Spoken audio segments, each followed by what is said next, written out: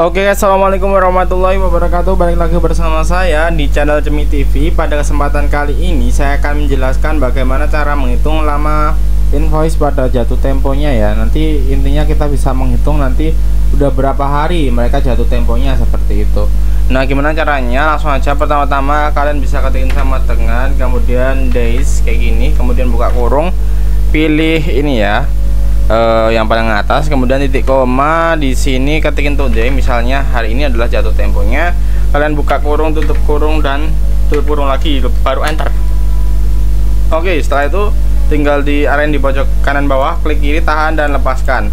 Nah untuk mengetahui yang mana aja yang jatuh tempo kalian bisa blok kayak gini kemudian pilih conditional formatting kemudian high list cell rule kemudian pilih yang less than. Dan pilih ininya nol aja ya dan oke okay. dan oke okay, ini dia yang merah ini adalah yang jatuh temponya udah tiga hari seperti itu Oke, jadi hanya segampang itu untuk caranya guys. Semoga bermanfaat. Terima kasih. Wassalamualaikum warahmatullahi wabarakatuh.